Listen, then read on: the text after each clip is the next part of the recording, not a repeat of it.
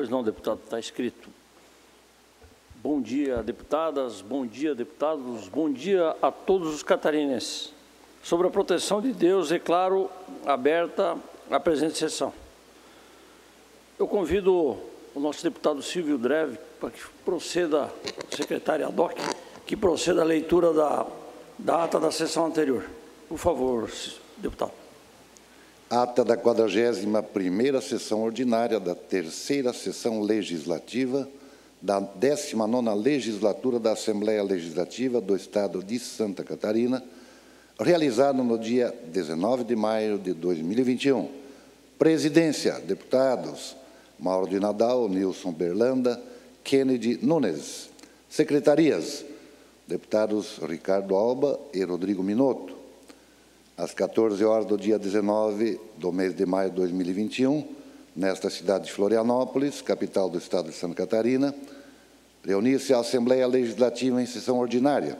Havendo quórum regimental, o senhor presidente declarou abertos os trabalhos e convidou o senhor deputado Ricardo Alba, primeiro secretário, para proceder à leitura da ata da sessão anterior que, em consonância com o parágrafo 1 do artigo 106 do Regimento Interno, o senhor presidente deu aprovada expediente.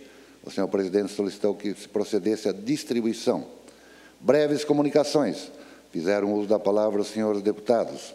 Padre Pedro Baldiceira, doutor Vicente Caro Preso, Ricardo Alba e a senhora deputada Ana Campagnolo. Grande expediente. Neste horário destinado aos partidos políticos, fizeram uso da palavra os senhores deputados. Doutor Vicente Caro Preso, Bloco PDT, PSDB, Republicanos. Silvio Drevek, Bloco PP, PSB. Kennedy Nunes, Bloco PSD, PSC. Ada de Luca e Valdir Cobalcini, Bloco MDB Novo. Ricardo Alba, Bloco PSL-PL. E Fabiano da Luz, Partido dos Trabalhadores. Ordem do dia. O senhor presidente comunicou que a Comissão de Constituição e Justiça apresentou parecer contrário aos projetos de leis 0024, 193, 307, 362, 2020 e 48, 2021. Ao projeto de lei complementar 0004, 2020 e a proposta de sustação do ato número 2, 2020. Foram aprovados em turno único os projetos de leis números 17, 2021, digo, o projeto de lei número 20, 17 de 2021, por maioria, com emenda substitutiva global e com o voto contrário do senhor deputado Gessé Lopes. 85 de 2021 por maioria, com emenda aditiva, e 172 de 2021 por maioria. Foram aprovados os pedidos de informação 351 a 368 de 2021 as moções 340 a 353 e 355 a 357 de 2021 e os requerimentos 790, 792, 799 e 800, 800 2021. A moção número 354 2021 e o requerimento 812-2021 foram retirados de pauta a pedido dos seus respectivos autores. Dando continuidade à ordem do dia, o senhor presidente deferiu os requerimentos 793, 798, 801 a 811, 813 a 816 e 823, 2021, e comunicou que encaminhará aos destinatários as indicações números 1064 a 1092 de 2021. E explicações pessoais. Fizeram uso da palavra os senhores deputados Bruno Souza, Maurício Crudilar, Felipe Estevam, Kennedy Nunes, Ivan, Ivan Nats. Nada mais havendo, senhor presidente, antes de encerrar a sessão, convocou outra ordinária para quinta-feira, no horário regimental. Para constar, o segundo secretário lavrou a presente ata. Era isso, senhor presidente. Obrigado, deputado Silvio. Em consonância com o parágrafo 1 do artigo número 106 do Regimento Interno, dou por aprovado. Solicito a assessoria que proceda à distribuição de expediente. Traremos agora em breves comunicações E o primeiro deputado inscrito no dia é deputado Maurício Scudilac, por 10 minutos, deputado. Pois não? Obrigado, senhor presidente, senhores deputados, público que, que nos acompanha. É, ontem eu concluí a, a redação de um projeto de lei é, que hoje estará sendo protocolado aí na Assembleia Legislativa, é, referente ao cadastro estadual é, de pessoas, de cidadãos em situação de rua. Esse é um problema que nós temos enfrentado, em, principalmente nas maiores cidades é, do nosso estado, é, onde pessoas escolhem algum local e começam a, durante a noite, se aglomerar, buscar marquises de lojas, buscar viaduto, buscar espaços públicos para que ali permaneçam. Permanecem pessoas que estão na situação de rua é, por opção, é, pessoas que estão na situação de rua é, porque abandonaram as famílias, porque não querem conviver com as famílias, e também muitos desses que acabam é, voltados para as drogas, para o crack, para outro tipo de droga. O que, que acontece? O cidadão de bem, ele ainda procura fazer um artesanato, ele procura fazer é, alguma forma dele receber recursos é, para sobreviver mesmo permanecendo na situação de rua. E, infelizmente, eu cito o caso, por exemplo, aqui do bairro Campinas, em São José, onde ali próximo ao, ao viaduto da Via Expressa, nós temos naquela região uma aglomeração muito grande de pessoas em situação de rua. Essas pessoas que são usuários de drogas, eles acabam durante a noite furtando fio de cobre, portões, porta, enfim, tudo que é tipo de objeto, principalmente para a venda no dia seguinte é, nos ferro velho, nas empresas que compram é, esses produtos. Eu participei de uma reunião também há poucos dias sobre esse assunto. A Prefeitura de Florianópolis é, conseguiu um grande avanço nessa situação, inclusive o, o vereador Gui Pereira, é, que é o secretário do Continente, participou dessa reunião. Balneário Camboriú conseguiu avançar muito nessa questão.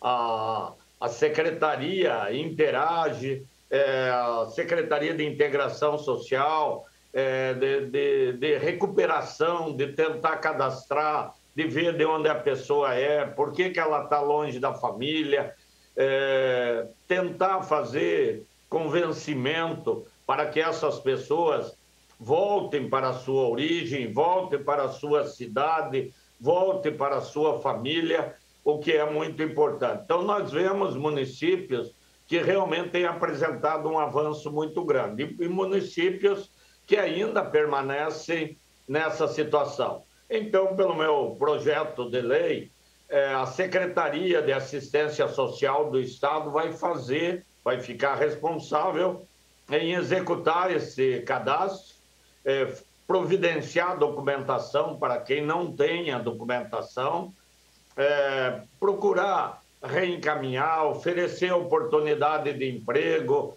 enfim, buscar alternativas para as pessoas em situação de rua. Eu entendo isso como um trabalho social preponderante depois dessa pandemia que nós passamos, onde muitas pessoas é, não tiveram opção, muitas pessoas perderam emprego, muitas pessoas entraram em depressão, muitas pessoas não têm, eh, não estão encontrando forças próprias, físicas, eh, espirituais para se re, reintegrar na sociedade. Muitos saindo, às vezes alguém que perdeu um emprego, é, com vergonha da própria família, faz essa opção pela situação de rua. E nós, infelizmente, não sabemos quem são essas pessoas de rua. Qual é o cidadão, a cidadã que está ali na, na situação de rua? Por que ele está na situação de rua? Se está por opção, se ele está por necessidade, porque não viu outro caminho. É, muitas dessas pessoas estando cadastrada, tendo de parte de, do Estado um controle, essas pessoas poderão é, receber apoio, talvez um internamento para aqueles casos de doença, para aqueles casos de situação de uso de drogas, de, de, de produtos químicos. Então, é, pela nossa lei, nós damos é, essa força ao Estado, à Secretaria de Assistência Social, que é lógico, vai trabalhar junto com as secretarias dos municípios, fazendo esse cadastro. Nós ouvimos muitas vezes falar, ah, como no chute, são tantas mil pessoas em situação de rua, tantos mil menores abandonados, mas nós não temos hoje, se for para apresentar, um cadastro com número, nome, idade, quem são essas pessoas, que eu entendo seja importante a gente ter e fazer todo o esforço para a reintegração social dessas, dessas pessoas. Se possível, buscando seus familiares, é, buscando um município onde tem origem, onde vai receber apoio, onde pode ter alguma oportunidade. Então, nós estamos protocolando hoje, ontem ficou concluída a redação desse projeto, para que possamos efetivamente dizer em Santa Catarina quem são, quantos são, onde estão, por que estão, qual o problema que, que enfrentam nessa situação eh, de rua. Então, é muito importante, isso traz essa convivência, traz problemas sociais muito graves. Nós vemos é, residências, é, condomínios, é, lojas que acabam tendo até restrição de presença de público ante a presença desses moradores de rua na frente, eh, na marquise, buscando alternativa para se proteger do frio, da noite, da chuva e criando um problema social. E, inclusive, com isso, ah, os próprios patrimônios, os, os, próprios bairros têm uma depreciação considerável, além do risco. Famílias que à noite não querem sair de casa porque no trajeto que vão fazer encontram ali é, dezenas de moradores de rua, deitado, às vezes utilizando droga, e que não sabe quem são e sempre com o, a dúvida a, da possibilidade até de serem abordados, de serem vítimas de algum fato criminoso. Nem todos que estão ali, ou a maioria, é, não é voltada à ação criminosa, mas a forma com que estão ali, muitas vezes pelo uso de drogas, podem se tornar, sim, um risco para si próprios e para a sociedade.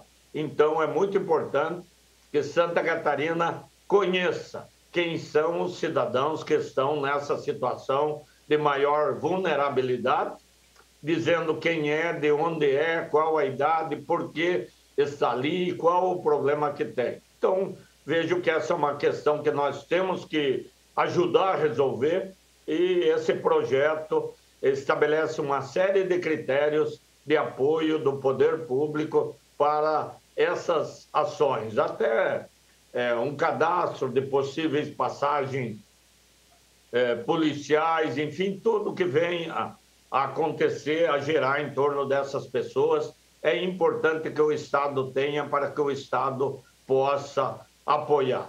Então, é esse o assunto. Terça-feira eu quero apresentar um projeto positivo, a reforma da escola Dona Lili, em Balneário Camboriú, que virou é, um exemplo de, de, de, de ensino público de qualidade e que foi feita uma reforma lá pela prefeitura, pela administração municipal de Balneário Camboriú, pelo prefeito Fabrício Oliveira e que nosso vice Carlos Humberto, e que é, transformaram uma escola que já era uma boa escola do município num exemplo para ser seguido pelo Brasil, por Santa Catarina e pelo Brasil. Deputado Maurício.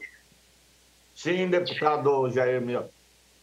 Deputado, quero parabenizar Vossa Excelência por essa iniciativa e realmente. Mais, mais um minuto, deputado, para concluir. É, quero parabenizar o deputado Maurício. E realmente uma das dificuldades das prefeituras é que elas não têm diálogo entre si. Então, com esse cadastro que Vossa Excelência está sugerindo, que já tem meu voto favorável, meu apoio, as prefeituras vão poder consultar o cadastro do Estado quando atenderem pessoas que migram de uma cidade para outra também no nosso estado. E Vossa Excelência muito bem elencou é, que existem casos e casos, existem vários motivos para que isso ocorra, e assim a prefeitura poderá é, ser assertiva no tratamento dessas pessoas. Parabéns a Vossa Excelência por essa iniciativa e já tem o apoio desse deputado. Muito obrigado.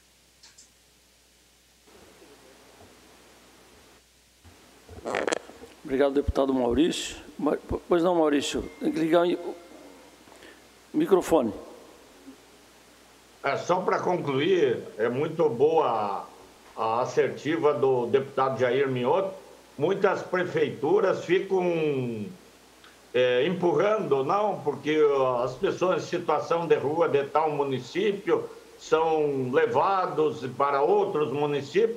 Com esse cadastro, nós vamos saber de onde é, onde estava, e o Estado vai ter esse controle e acaba essa, essa disputa, essa briga entre os municípios e todos através da Secretaria de Assistência Social do Estado, vamos fazer um trabalho conjunto que vai ser bom para todos os catarinenses. Obrigado, presidente. Um ótimo dia a todos, ótimo final de semana e que Deus abençoe. Obrigado, deputado Maurício Kudilac. Não havendo novos deputados inscritos, entraremos em horário destinado aos partidos políticos. Primeiro bloco do dia, PSL, PL, por 15 minutos. Alguém fará o uso da palavra?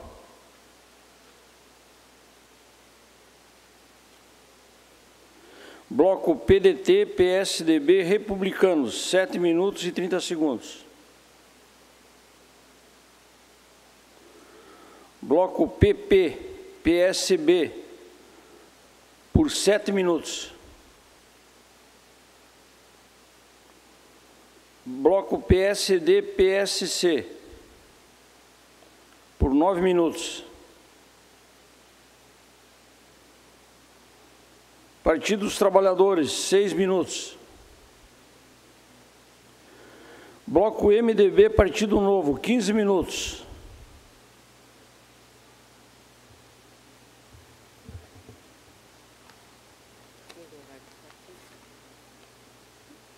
Havendo oradores inscritos, é, farei a leitura de um comunicado dessa presidência.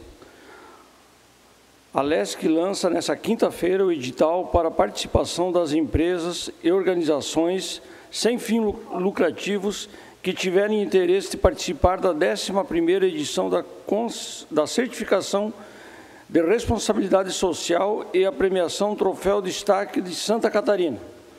A certificação foi instituída com base da Lei Estadual número 12, 918-4, e visa reconhecer e destacar as empresas e entidades catarinenses que tenham a responsabilidade social incluída em suas políticas de gestão, além de promover o bem-estar da sociedade catarinense.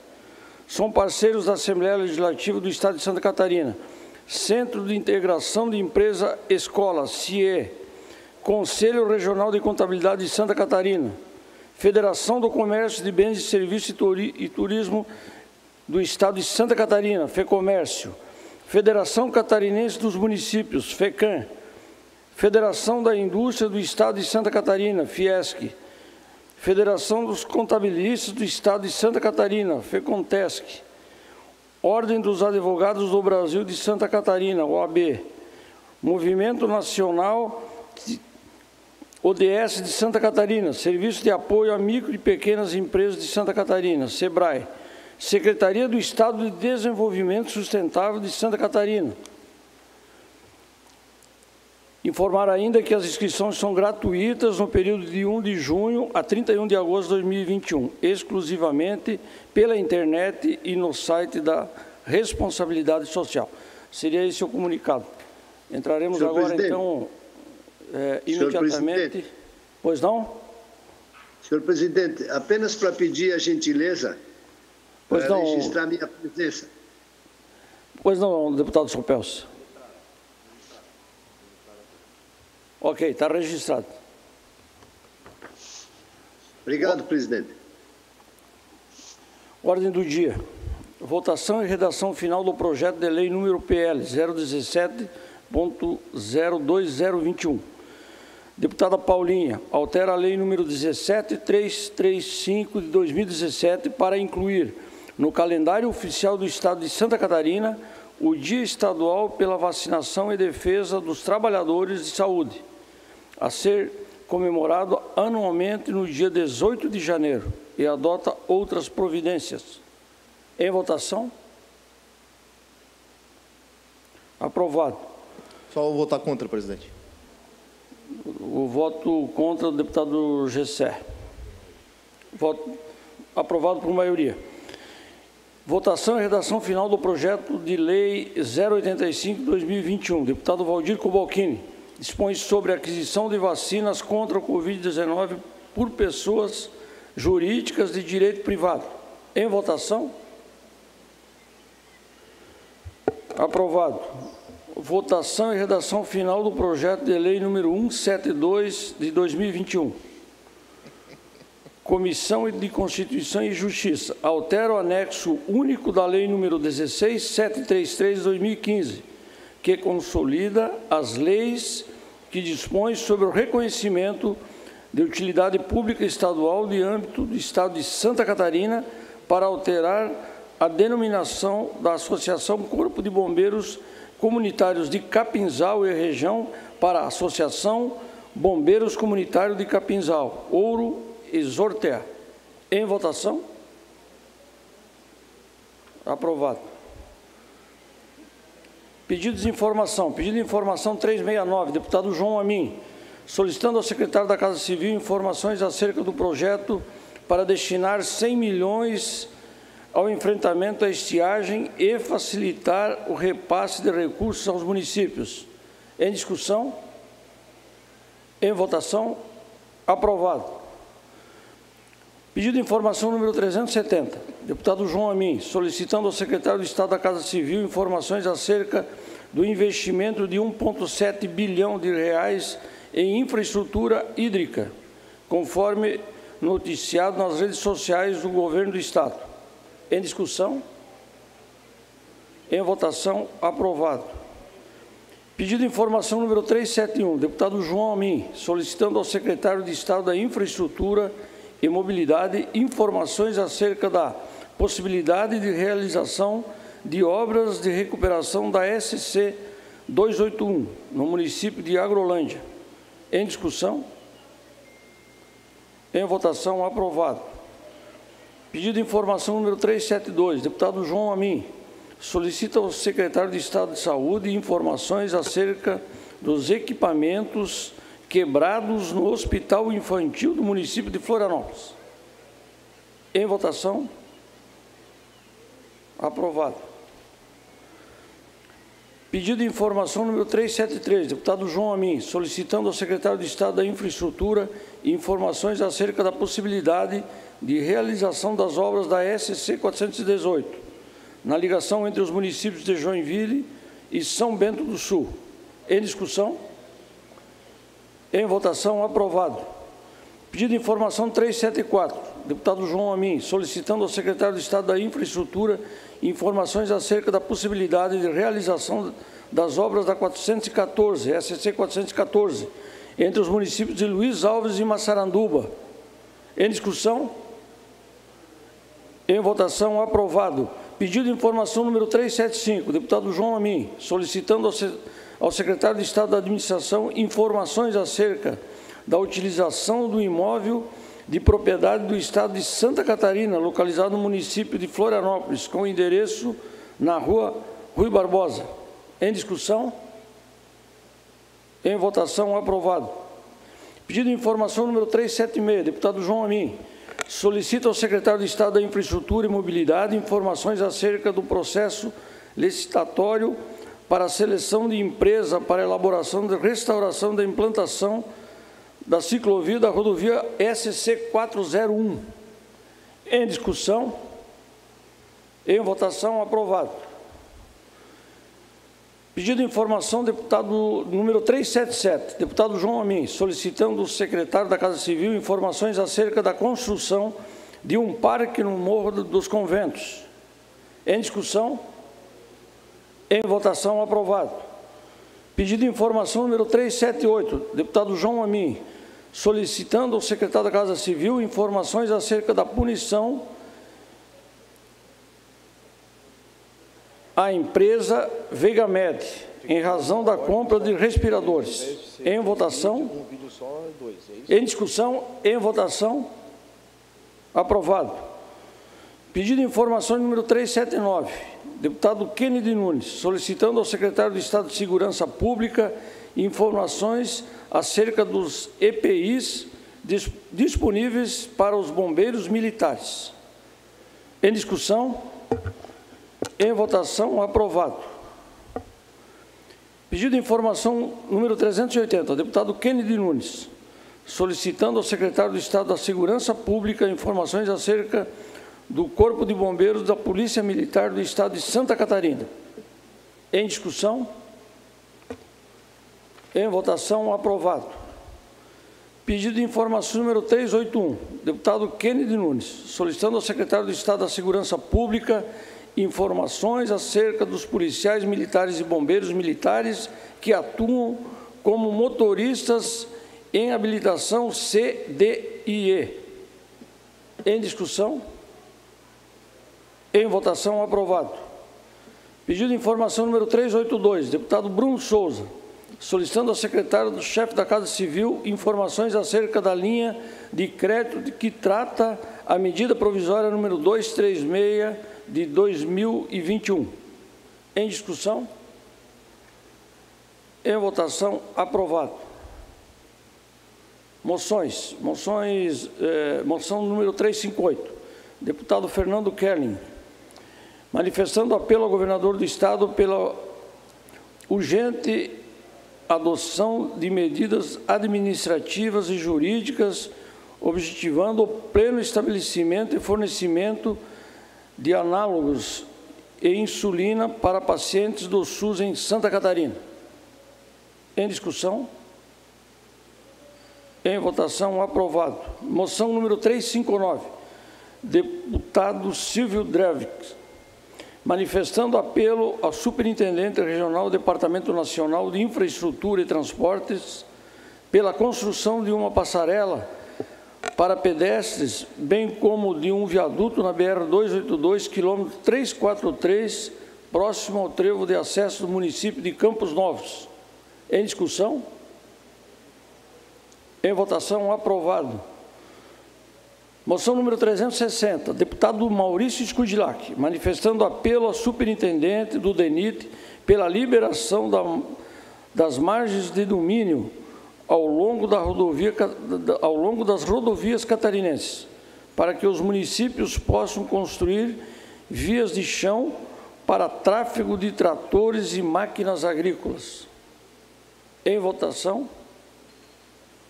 Em discussão, em votação, aprovado. Moção número 361, deputado Gessé Lopes, manifestando aplauso aos policiais militares rodoviários Cabo Massone, Capelo e Davis, que salvaram a vida de uma criança de três meses de idade que havia se engasgado com leite. Em discussão, em votação, aprovado. Moção número 362, deputada Paulinha, manifestando aplauso à Defensoria Pública de Santa Catarina pelo Dia do Defensor Público. Em discussão, em votação, aprovado. Moção número 363, deputado Felipe Estevo, cumprimentando o Clube de Tiro Magnum, no município de Criciúma, pelos relevantes serviços prestados em favor à sociedade do sul de Santa Catarina. Em discussão? Em votação, aprovado. Moção Senhor número... presidente. Pois não, pois não, deputado. Só fazer uma singela observação. Lá é feito treinamento né, das nossas forças de segurança público-privado funciona muito bem, então parabenizar eles, porque toda grande parte das forças de segurança daquela região fazem os seus treinamentos, seus, seus cursos de capacitação lá no clube, então eles têm essa preocupação, essa responsabilidade social e é, disponibilizam toda uma estrutura bem significativa as forças de segurança, polícia militar, polícia civil, agentes do DEAP, então fazem esses treinamentos lá, então registro aqui né, esse, esse nosso Parabéns a eles que estão aí sempre dando a sua parcela de cooperação. Claro, é uma empresa, mas dão a sua parcela de cooperação às nossas forças de segurança. Muito obrigado, senhor presidente. Continua em discussão. Aprovado. Moção número 364, deputado Volney Weber, manifestando aplauso à Polícia Militar e soldados Cleveland, Vieira, Tressoldi e Ivânio Liberti Chavansky, de Passo das Torres, por salvarem uma vítima de tentativa de homicídio que estava se afogando no rio Mampituba. Em discussão? Em votação, aprovado. Moção número 365, o deputado Volney Weber, manifestando aplauso a Caravaggio Futebol Clube do município de Nova Veneza, pelo seu ingresso no futebol profissional do estado de Santa Catarina. Em discussão? Em votação, aprovado. Requerimentos. Requerimentos número 818, deputado Padre Pedro Baldiceira, requerendo regime de prioridade para apreciação do projeto de lei número 155 de 2021. Em discussão? Em votação, aprovado. Requerimentos. Deputada Dilce, eh, Dirce Reis, solicitando ao Anatel que determina operadores de telefonia celular a melhoria das redes móveis de internet no município de Otacílio Costa. Em discussão? Em votação, aprovado. Essa presidência comunica que defere os seguintes requerimentos. Requerimentos 817 a 819 822 a 824 e 826 a 828. Essa presidência comunica que encaminhará os destinatários conforme determina o regimento interno. As seguintes indicações. Indicações de 1093 a 1103. Finalizada a ordem do dia, Temos um deputado inscrito em explicações pessoais, deputado Gessé Lopes. Por 10 minutos, deputado. Obrigado, presidente, caros colegas, todos que nos acompanham pela TVA. Antes de falar do assunto principal, que é o absurdo que aconteceria na cidade de Itajaí com dinheiro público, um absurdo que, promo, que é uma promoção de erotização de crianças, quero dar um contexto. Pode passar a primeira imagem. Não, uma imagem. Volta, aí.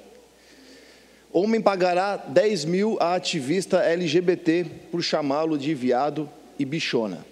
Está lá no consultor jurídico.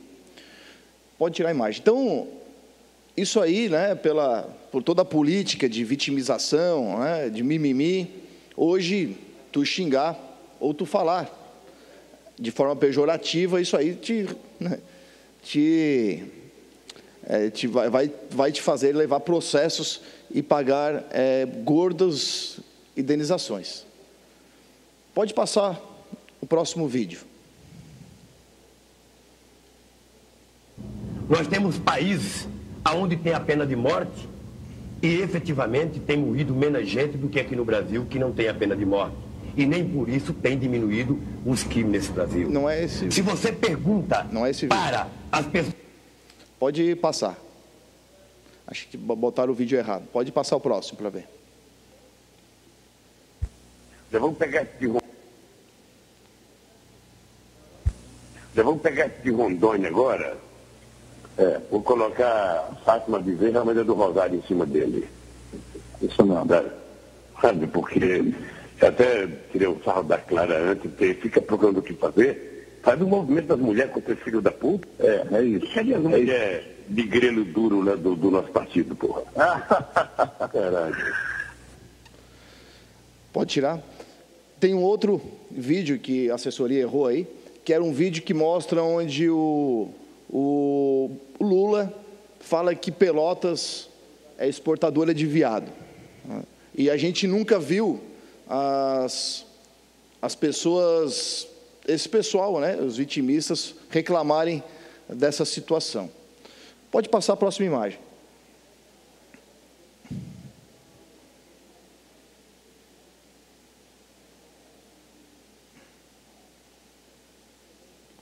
Não, próxima imagem.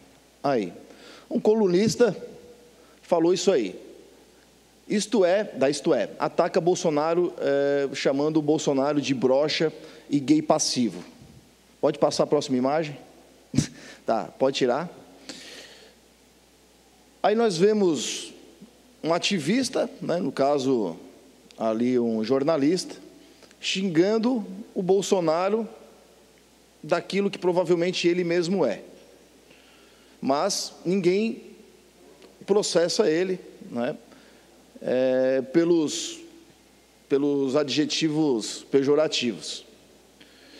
Então, você, fica muito claro e nítido que não é o que você fala, e sim quem fala. Porque dependendo de quem fala, leva processo. Dependendo de quem fala, aí está tudo bem, não, não há comoção, não há vitimismo. Não é? Mas, enfim, aí vem esse pessoal e decide fazer um evento com dinheiro público. Que fique claro, esse foi o grande objeto da questão e do repúdio da, das pessoas. Ainda que o tema também seja um absurdo. E eu recebi uma denúncia na sexta-feira sobre este evento que aconteceria em Itajaí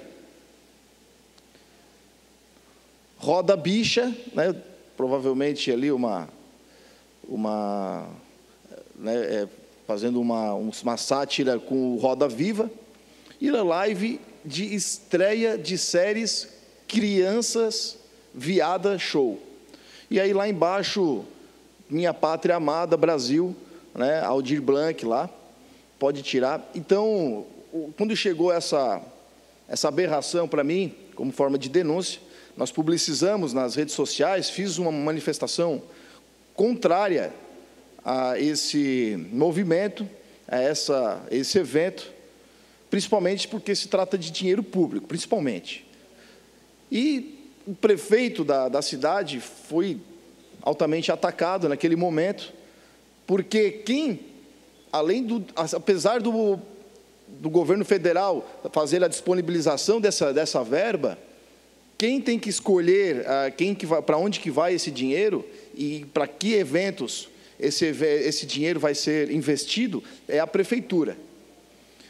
A prefeitura disse que não sabia e acabou cancelando esse evento acertadamente. Acertadamente. Então, ficou nítido, notório, que a população de Santa Catarina não quer esse tipo de perversão, perversão aqui em Santa Catarina em lugar nenhum.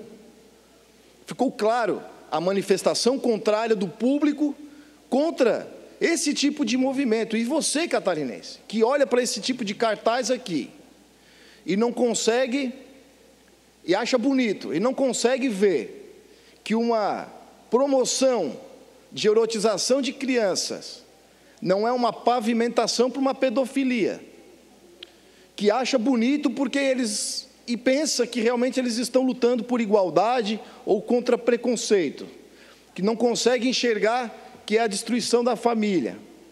Então você deve ser muito feliz, porque os ignorantes são mais felizes, porque são descolados da realidade. Então falta um pouco de, de compreensão. Mas isso já estava resolvido. Isso já estava resolvido. Até que, depois de tantos, tantas manifestações contrárias, dizendo que nós não queremos, que o povo de Santa Catarina não quer dinheiro público investido nesse tipo de coisa, não quer o dinheiro dos nossos impostos investido nessas porcarias, aí vem a Defensoria Pública com dinheiro público, pode passar a próxima imagem, dizendo que vai tomar providências diante da censura. Que censura? Que censura? Ninguém está proibindo eles de fazer as balbúrdias deles, aí estão na rua ali, ó. que censura? Mas é dinheiro público, e Santa Catarina não quer investimentos nesse tipo de coisa, não quer. E aí vem a, a, a Defensoria Pública, que é pago com dinheiro público, para defender censura, que censura? Se quiserem fazer essa porcaria aí lá com o filho de vocês, na casa de vocês, entre vocês, vocês ninguém está censurando coisa nenhuma, mas é sempre tem que ser com dinheiro público, sempre tem que ser dentro de universidade. É uma afronta, é sempre assim, é uma afronta. Se eles não, não, não for para afrontar, para eles não resolve, não adianta. Eles têm que promover essa putaria aí. Aí roda a bicha, mas se tu chama um cara desse aí de bicha, pelo amor de Deus. Eu tenho processo na ética aqui porque eu chamei eles de alguma coisa disso. Né? Mas aí, se é o Lula, por exemplo, se é o repórter gay lá, aí está tudo bem. Então a Defensoria Pública acho que está sem trabalho. Acho que eles não têm nada para fazer. Às vezes chega lá pessoas que realmente chegam com uma pauta importante, lá que realmente precisa, que é, que, é, que é, é importante, que realmente é uma coisa que que precisa de ajuda, uma pessoa lá que às vezes não consegue uma ajuda da defensoria pública, porque a renda dele passou um pouquinho daquele que é o mínimo para poder ser ajudado. Mas aí a defensoria pública não aparece, né, fazendo fazendo essa, essa propaganda. Um monte de policial aí que é processado porque humilha vagabundo, que tem que humilhar mesmo. Aí a defensoria pública também não, não se comove em ajudar.